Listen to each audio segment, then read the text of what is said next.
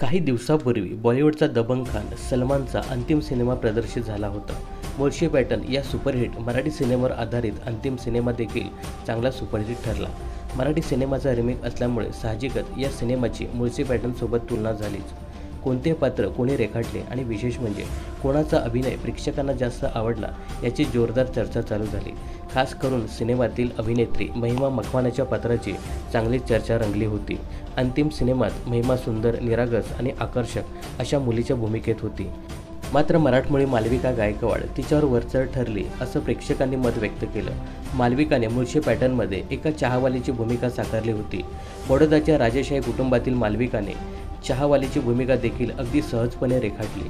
त्यामुळे सगळीकडून तिचे कौतुक होताना दिसत होतं. तर सिनेमामध्ये अभिनय करण्यापूर्वी मालविका गायकवाड एका मोठ्या आय टी कंपनीमध्ये जॉब करत होती. मालविका एक सॉफ्टवेअर इंजिनियर आहे. शिक्षण पूर्ण झाल्यानंतर तिला आय टी कंपनीमध्ये काम करण्याची संधी मिळाली. गडगंज पगाराच्या नोकरीसाठी मालविका सुरुवातीच्या काळात अगदी उत्साही होती. मात्र हळूहळू आय टीच्या आयुष्याला तिला कंटाळा येऊ लागला. त्यामध्ये तिचं मन रमलंच नाही. एका जिममध्ये वर्कआउट करताना कोणीतरी मालविकाला थेट सिनेमात काम करणार का? असा प्रश्न विचारला. त्यावेळी तिने हसत कदाचित हा मस्करी करत आहे असा विचार करत हो म्हटलं. मात्र त्यानंतर लगेचच काही दिवसात तिची आणि प्रवीण तरडेची भेट झाली आणि मुळशी पॅटर्नमध्ये तिला काम करण्याची संधी मिळाली. तर मुळशी पॅटर्न सिनेमातून तिने मराठी चित्रपटसृष्टीमध्ये पदार्पण केलं. अभिनयाचा कोणताही अनुभव नसताना तिने उत्तम प्रकारे आपले पात्र रेखाटलं. त्यामुळे तिचे विशेष कौतुक देखील करण्यात आलं. त्यानंतर मात्र मालविकाने चित्रपटात फारसा रस दाखवला नाही कारण सुरुवातीपासून तिला एक वेगळे क्षेत्र आकर्षित करत होते.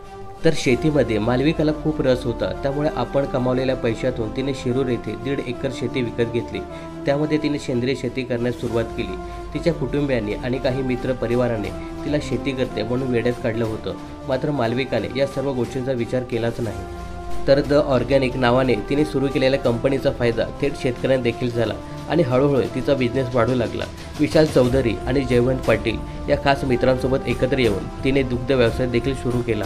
तर या तीन मित्रांची हम्पी ए टू नावाची कंपनी दूध आणि दुधापासून बनवलेले पदार्थ कोकोनट ऑइल यासाठी प्रसिद्ध आहे. या कंपनीची उलाढाल कोटींच्या घरात आहे. अठरा ते वीस कोटीच्या या कंपनीमध्ये नेट प्रॉफिट तब्बल चार कोटी रुपये आहे.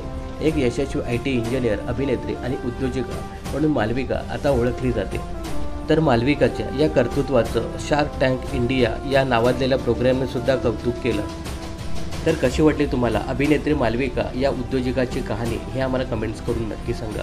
मनोरंजन क्षेत्राच्या अशाच फिल्मी अपडेट जाणून घेण्यासाठी द फिल्मी गप्पा हे यूट्यूब चॅनलला नक्कीच सबस्क्राईब करा.